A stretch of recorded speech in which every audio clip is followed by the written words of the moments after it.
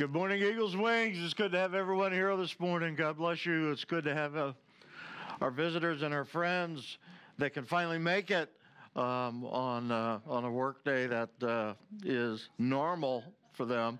Uh, good to have you here. It's good to have you here. God bless you. It's good to have you here. Um, we had um, just some wonderful songs in praise and worship, and um, it was just very cool. Um, if you didn't feel the presence of the Lord, well, I'm sorry. I did. It felt like He was holding my hands again.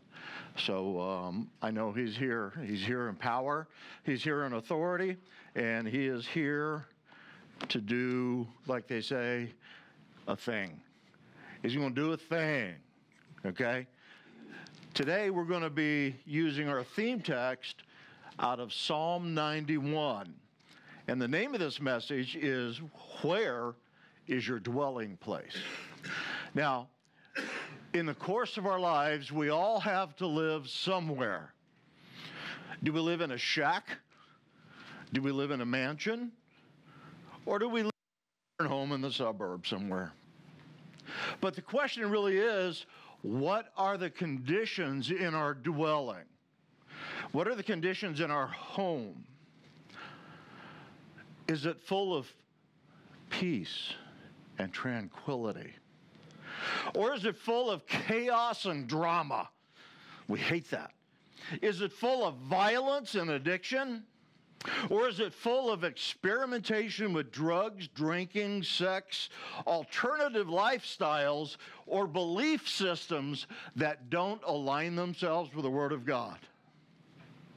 And then what are we to do in our dwelling place, in our homes, in our lives? Are we to endure a place where peace has no place and tranquility has no room? Are we just supposed to put up with that? Do we just tolerate a seemingly amount of chaos and drama that fills our home or our lives?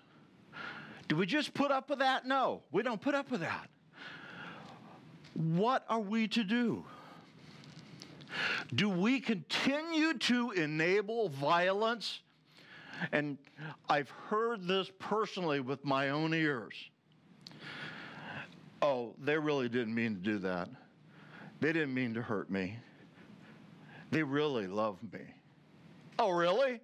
And why they put their hands on you in the first place? That's not love. That's not laying on of hands. That's laying on a fist. So come on, wake up, folks. Shake yourself awake. That's not love. That's not even an indicator of love. There's no room in your life for that kind of thing. So we think that we have to wink at addiction because those that are addiction will say, oh, we'll come to our senses when that time comes. And even worse than having said that is, and I've heard this say by those that have been addicted, they, using their own willpower, can just work themselves out of it. Well, how many in the house know that is a honeydew wagon load of fertilizer? Those that know what a honeydew wagon or a honey wagon is get the point. So, I've heard them say that. They can beat the, the addiction themselves, and there is no way they can do it without counseling, but they think they can do it without counsel. They think they can do it because they've set their mind to it. But answer me this Will they only wind up a mindless, lump of flesh laying on the floor in a drug or alcohol, self induced, emaciated stupor. And once again, I can say I've seen that. The squalor that they live in because they just don't care anything except about the next snort or the next drink or the next joint or the next whatever And the call of that addiction was so strong, they couldn't resist it because they didn't have enough of this in their lives to be able to resist. So, what are we going to do? Are we just going to let them pull the wool over our eyes because they think they can play dress up and put on a happy when the whole time the addiction is gnawing at them and they can't get away from it? Do we turn a blind eye to experimentation or condone our children being led around by the nose of those so called experts that tell them not to listen to their parents because the parents just aren't enlightened today? They're just old fashioned. They say to our children, our teenagers, our young adults, just fall in line with the new ways, the social media examples, and, and false so called scientific reports, pseudo or disingenuous science, and society says that evil today is good for you. Is evil good for you? Never. Will evil ever help you? Never. Can you grow good fruit and bad fruit on the same tree? No. Bring forth the good fruit. Do we let them think that they are a different person that's just trapped in this body? Do we allow our children just to do whatever they want to conform to what is being constantly pumped into their minds, into their brains, into their character, trying to turn them into something that God didn't intend them to be? Do we go to our school educators who are doing this horrible work? Do we go to the school boards who, by the way, just don't say anything. They condone it. Why?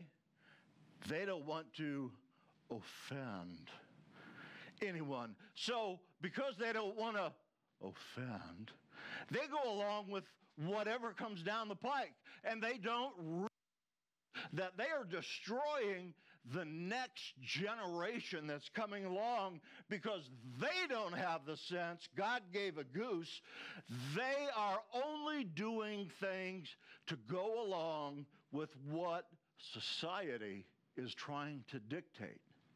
But if you have an eye and an ear for God, you know that all of this stuff is just wrong. It's evil. And the intent behind it is evil.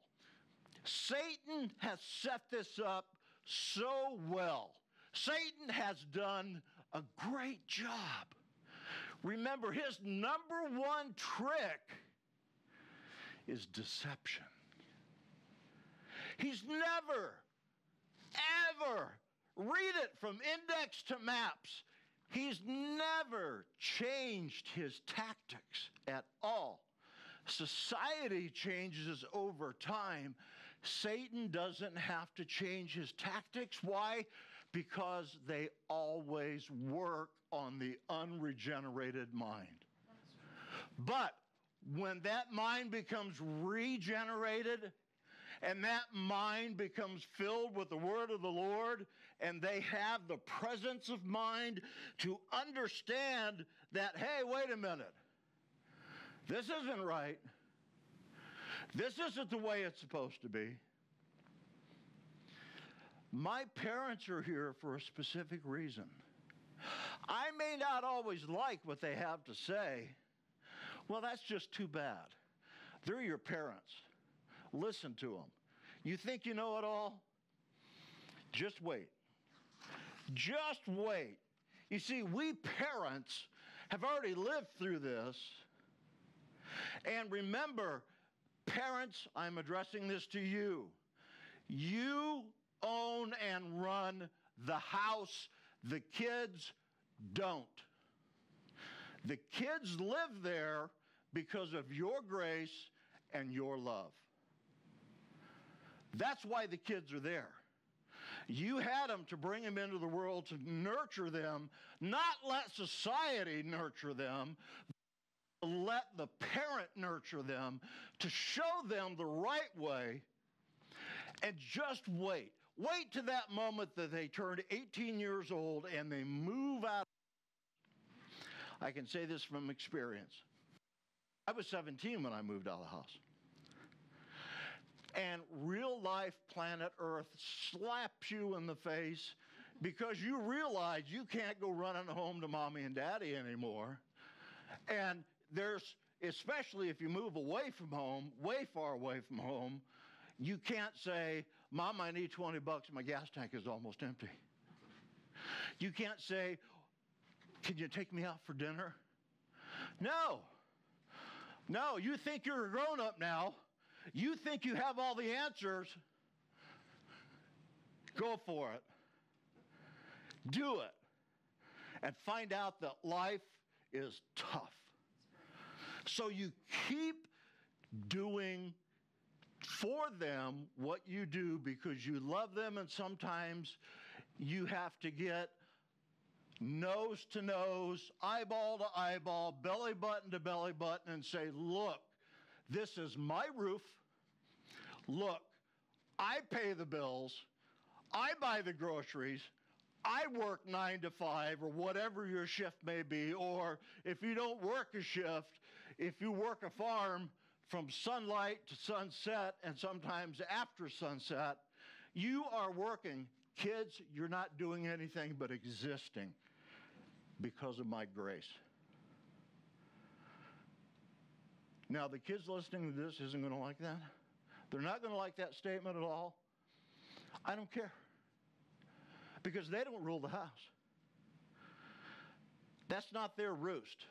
Their roost will happen when they get into real life, planet Earth, someplace else, and they have to realize that this isn't as simple as they thought it was when they were living under the wings of mommy and daddy. We realize today that when our kids move out of the house and they run to a different place, that as much as we would like to run after them and help them in every single way that we could possibly help them, that's no longer. They're 18, they think they're adults. It's time for them to leave the nest. We have two bird nests out on our deck. Did we want them there? No. Did we wash them away? No, because there were eggs in there that were going to become little birds. But when those birds leave the nest, we're shooting those nests out of there with water. And if the birds come back, are they welcome? We're going we're to love them. We're going to love them, love them, love them, love them, love them, but are they going to live under my roof for free ever again? Absolutely not.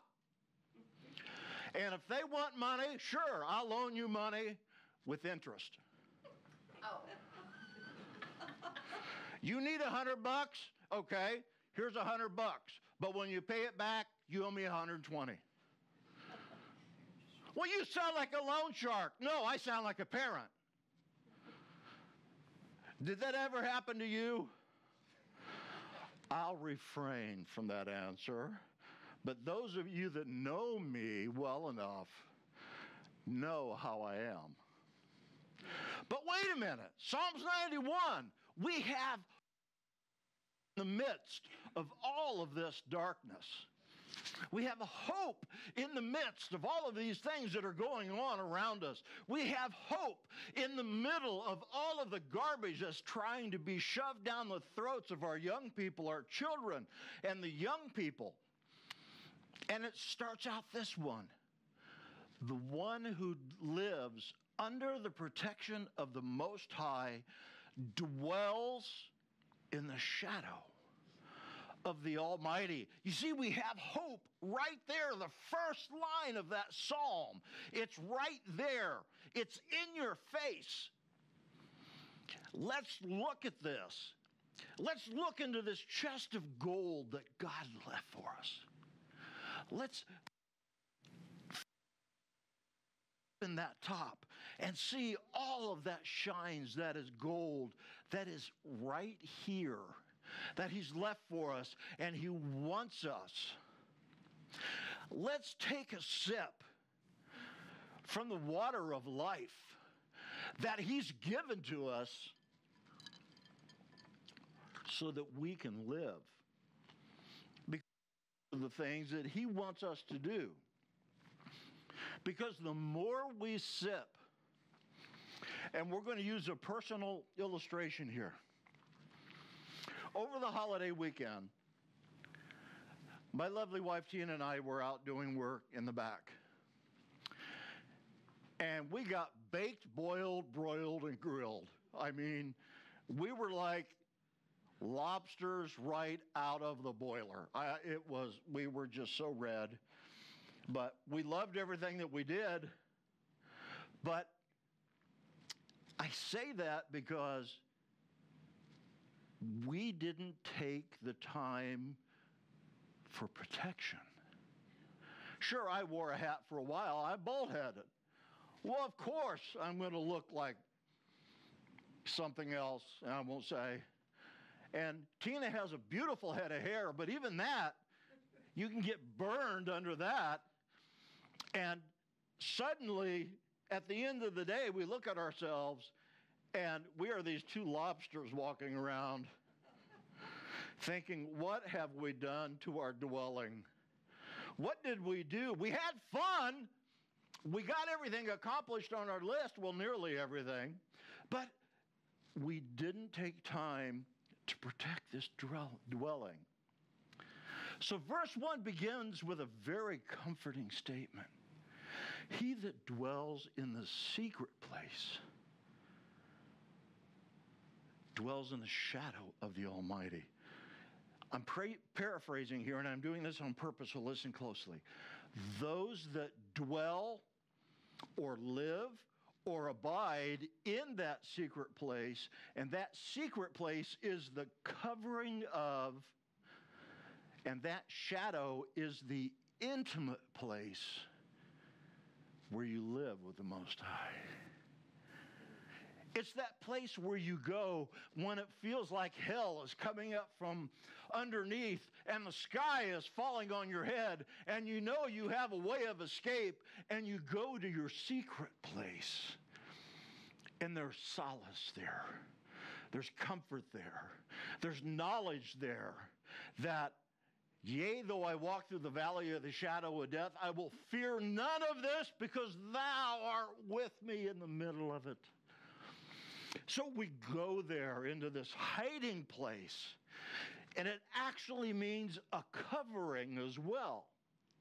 So we drape ourselves in his love, mercy, grace, and we can make it through. No, we're not wearing a ghillie suit. We're not out there dressed like a sniper. We are draped in the power of God for such a time as that. And you may ask, how does God have a shadow? Well, remember, this is a, this is a statement that's being made for people to understand. They all saw the eagles that live in the Middle East. They all saw those soaring on the thermals. And they saw how giant those wings were. And when they landed on their nest and it was a hot day, mom and dad would stretch out their wings to cover their children, to keep cool, to keep them refreshed, because the parents knew the kids weren't old enough to take it yet. Our loving faith in Him connects us with, get this, His loving faith for us. Did you know that God has faith in us? Think about it a minute. We, we hear all these messages. You know, you have to have, if you don't have so much faith, you're not going to get healed. If you don't have so much faith, this isn't going to happen. If you're not, if you don't have this this much faith, then you're never going to drive a Bentley. Well, who gives a rip? If you never have this much faith, you're not going to have a mansion. I don't care. I don't want one. If you don't have this kind of faith, over and over and over, and the rhetoric becomes almost disgusting, and it makes you want to throw up. But if you're standing there in your resting place, covered under that shadow, man motivated by the devil says, I'm going to find a way through that cover and get to you. And what does God say? you want to bet? Come on. Put them up, turkey you won't last a half a round. We're not going to go 15 rounds like the old days. We're not going to go 12 rounds like today. This isn't going to be um, ultimate fighting. I'm just going to say, you're done. And you're gone. It's easy. God makes it easy. He makes it all easy for us. And all we have to do is call to Him. And you know, that also means that we simply sit by his side. We know that Jesus is sitting at his right hand, ever making intercession for the saints, but can you imagine having a seat to the throne? Can you imagine sitting next to God Almighty Himself and taking off your crown and casting it at His feet? Can you imagine being in that in that seated protection, and his wings are outstretched.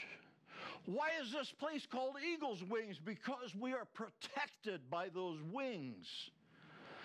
We are seated there under the protective shadow of El Shaddai, God Almighty. We are protected by LD, the God of knowledge. We are there protected by El Roi, the God who sees me. You see, God's got it covered, y'all. He knows what you're going through because He's seen it from the time that He first breathed into Adam. And Adam was just that hunk of clay. And He went, and inflated his lungs with vitality, and man became a living soul. And he knows us from then, and he knows, even though we fell, he knows all of those things that try to draw us away from him, that try to pull us away the lust of the eye, the lust of the flesh, the pride of life, and you can tag anything that you go through during the course of your day into those three categories. And then you have to ask yourself why. Especially if you're a believer. There's a, there's a 10,000 square foot home. I want it. Oh, wait, wait, wait, wait, back up. There's only two of y'all. Why do you need 10,000 square feet? Because you're supposed to be getting along so, 2,000 square feet of work. The guy doesn't need 5,000 square feet in this wing, and the wife doesn't need 5,000 square feet in this wing, and they meet maybe for dinner time, and then he goes to his shop and plays with his toys. She goes to her place and plays with whatever she does. And the two never become one because they're so caught up in themselves. But we're not called to be caught up in ourselves. In verse 2, Jehovah himself becomes our place of safety and refuge. He becomes a fortress, a fort. Think about that. that we can run into. If you have to, think about the old cowboy movies, the old army movies of the Old West, where they built these forts all over the place out west. And when things got tough with the Native Americans, the settlers would go into the fort where they could find protection. Now, think of what protection your God can give you when you run into his high tower. What is that protection? It's what we just said. He's all knowing, all seeing, all caring. And he says, Come on. I am your Elohim. I am your creator. I know what's going on. And I have a place for you to sit, relax, and just trust me. So wipe that frown off your face because it takes more muscles to frown to smile. And put that smile on your face where it's supposed to be in the first place because you can't be in a better place than where you are with me right now. I don't care if Satan has turned the fire up to a billion degrees. It's like Shadrach, Meshach, and Abednego in the fiery furnace that cranked it up seven times hotter than it had ever been before. And the guards that threw them in were completely incinerated. And Shadrach, Meshach, and Abednego were just, thank you, Lord. Thank you, Lord. Turn the air conditioning down just a little bit. Thank you, Lord. And then all of a sudden, there's a fourth man in that furnace. Oh my God. And, and the king looks over and he said, Hey, yo, didn't we put three folks in there? Well, yeah. Then why do I see four? And oh my, that fourth looks like the Son of God. Oops. Nebuchadnezzar has an oops moment and he says, Shut that fire down! Shut that fire down! Get those guys out of there! And they come out of there and you think the trial that you're going through is trying to consume you, think about them. When they came out of that fire, another personal example, we bought a smoker. So we smoked a brisket, or not a brisket, um, a pork butt, uh, a, a, pork shoulder, if you want to get technical. Um, and every time I had to wa- add water to the water pan, the smoke came out and just saturated everything that I had on. So I smelled of smoke. Tina smelled of smoke every time we were around it, even when the smoke was just gently wafting out of the stack. But these guys, when they came out of the furnace, didn't even have that. Not the slightest smell of smoke or a singe on their person. And the king is going, Oh my if your God can protect you from this, what more can he do for you? In verse number three, it provides us with the most elementary way of entrapment by the enemy at the time of the writing of this psalm. As we listen, it's an example of things of that time that were perilous. Now, listen the snare of the fowler. Well, what does that mean? Today we go bird hunting with a shotgun. Back then, if, if they flushed a covey of quail, they threw a net over the top of the covey so they couldn't fly anymore, and the weights on the bottom, it's kind of like fishing was.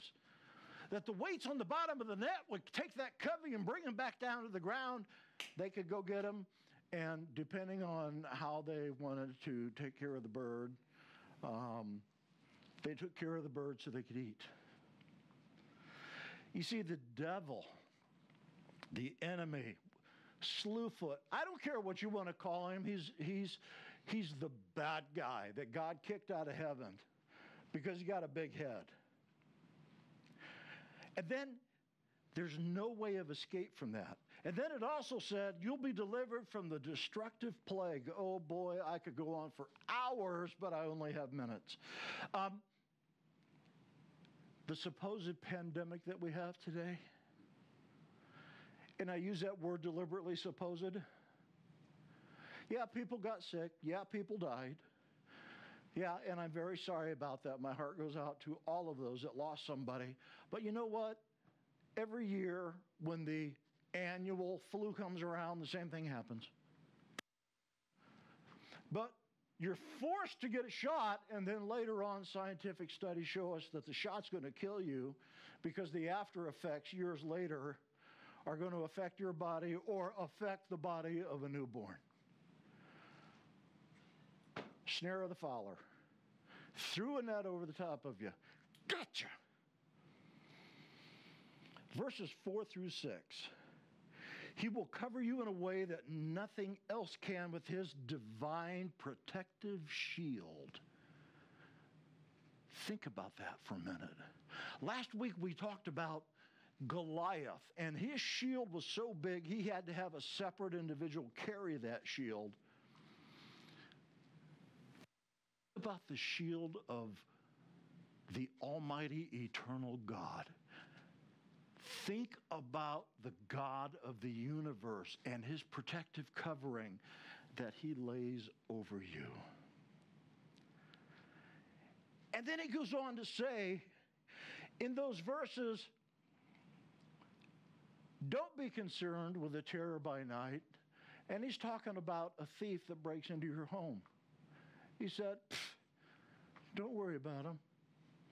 Number one, it's only stuff. And number two, I got your back.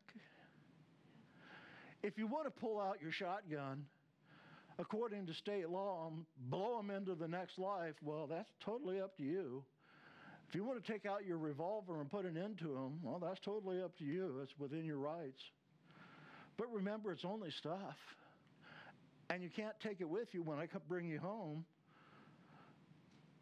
So he makes us safe that way. And then he says, Don't fear the arrows that fly by day. And he's talking to armies here. So individuals that were in the armed forces within our ranks here at Eagle's Wings, and those of you that are watching, you understand that in the heat of battle, God has his protection over you if you're his son or daughter. And you're not afraid of those arrows because God will grab it in the air and he won't let it touch you.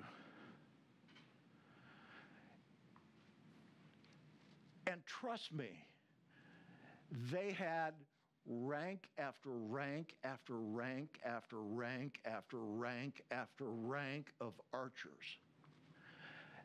And the guy that was in command of the archers would simply say, raise, nock, pull, let fly.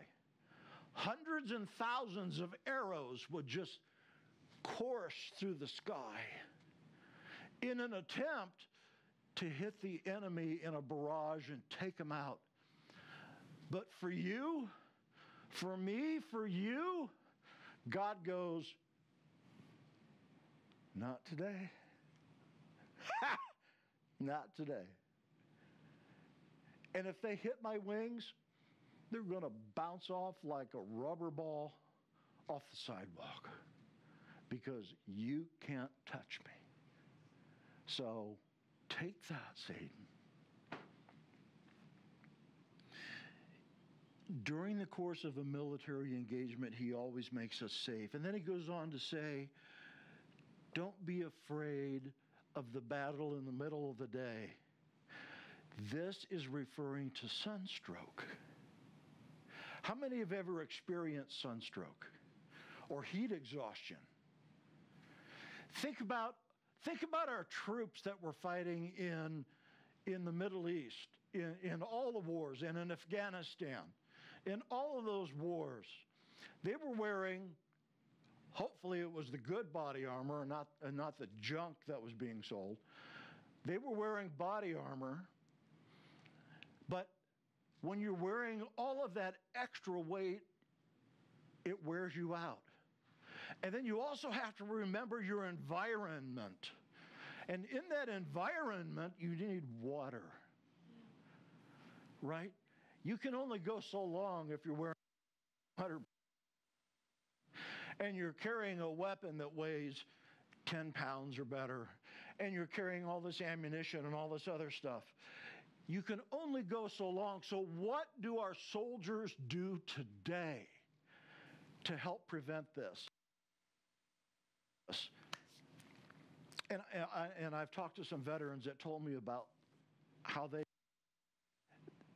This is a company is called a CamelBak, or it's a hydration bladder that they also wear on their back. And it has a hose that comes up this way. And that bladder will hold up to 100 ounces of water. So when they're out there humping the desert, or they're humping the mountains in Afghanistan, or they're humping through the bush in a desert situation, all they have to do is take a sip and take a drink. And they're taught how to drink when they're in boot camp. You don't guzzle it all down because you won't have any for later. But that's the Army, that's the Navy, the Navy, that's the Marines, that's the Coast Guard, that's all those people that come in contact with the enemy. Whether it's the enemy abroad or the enemy within, they are trained to do it in a certain way, and that certain way will preserve their life. Now, think about this this is our water of life.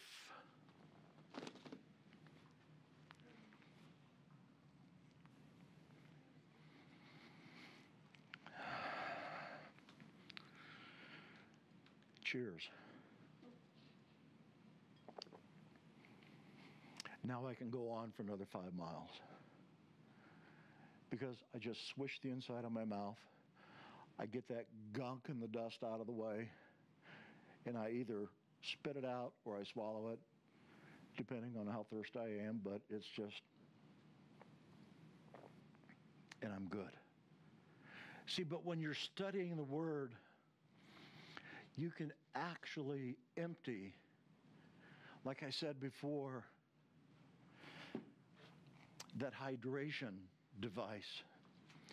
Because when you drink from this, it makes you thirsty for more. When you drink from this, it makes you want more. Verses 7 through 10 are quoted probably more often than after John's 3:16, I probably put this in number 2. Though a thousand may fall at your side and 10,000 at your right hand, the pestilence or destruction will not reach you.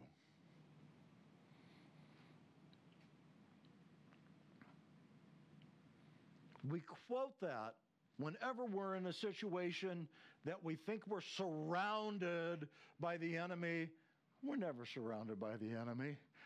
God's got his hand on us, and he's got his wings spread out. And he's up there going, You think what? You think you're going to get my son? You think you're going to get my daughter? You're not.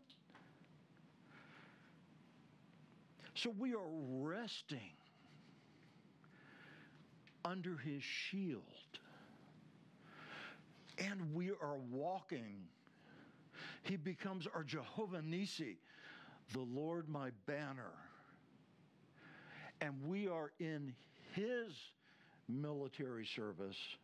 And every time we walk, wherever we go, we carry His banner.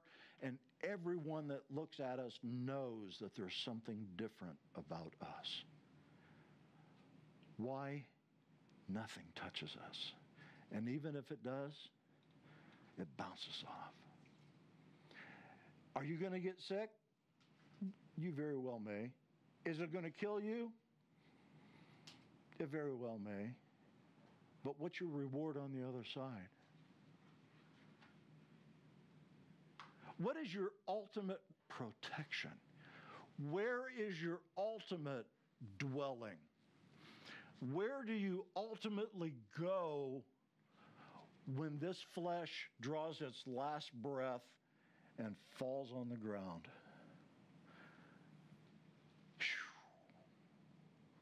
Into the heavenlies. The ultimate place of protection. So don't worry so much about this clay. It doesn't mean that much. It's simply a vehicle that he's using right now to evangelize the world. And he doesn't hold anything back. And I'm going to say this as a word of caution. All of us as Christians, once we read, study, know, and with situations that come about and we attack with the Word of God, we don't hold anything back during that attack. We pull our sword, we hold up our shield, and we charge as hard as we can at our enemy, and we hack them down, not with a physical steel sword, but we hack them down with the Word of God. All the time under His protective covering. So everything that we do for Him, conversely, He is watching over us to make sure that we do it right. So, where are you in your dwelling place? Where is your dwelling place? Go ahead and read the rest of Psalms 91. It's a wonderful book. But remember, you dwell in the secret place of the Most High, no matter what you're going through in this physical life. And He's got you. God's got you right here in the hollow of His hand. I want to thank you for being with us today. God bless you all for being here. Thank you for joining us. Um, you may ask, where in the world are you people? Because we have people from all over the world that tune in and watch. And we are at 734 Santa Fe Boulevard in Kokomo, Indiana, USA, if we have to throw that in. Um, and we meet every Sunday morning at 10 o'clock. And then on Wednesday nights, we have, and if you look behind me, you see this line that says, an unconventional place for an unconventional people. Trust me when I say we have probably the most unconventional Bible study that you've ever heard of. Because we take, we're studying Proverbs right now, and we may only get through two or three verses. And then we apply it to real life planet Earth situations in our own lives, and we share the stories and the examples and all that stuff. And we always come back to Proverbs and how applicable it still is today after all those thousands of years after it's been written. So, 10 o'clock, Sunday morning, 734 Santa Fe Boulevard, Kokomo, Indiana. And I imagine the crawler is probably up on the screen. You can contact us via our Facebook page, or you can you can send us um, an email at weareeagleswings at gmail.com. We are Eagles Wings, one word, and we'll get your your notes, and I will read them and answer them, and whatever the question may be, we'll come back to you because we want you to know that we love you and we care. So, with that, once again, thank you all for joining. Thanks for being here making the sacrifice in your time on this Sunday morning. And I know we have a tremendous flesh. Now that we've fed your spirit, we're going to feed your bodies. God bless you.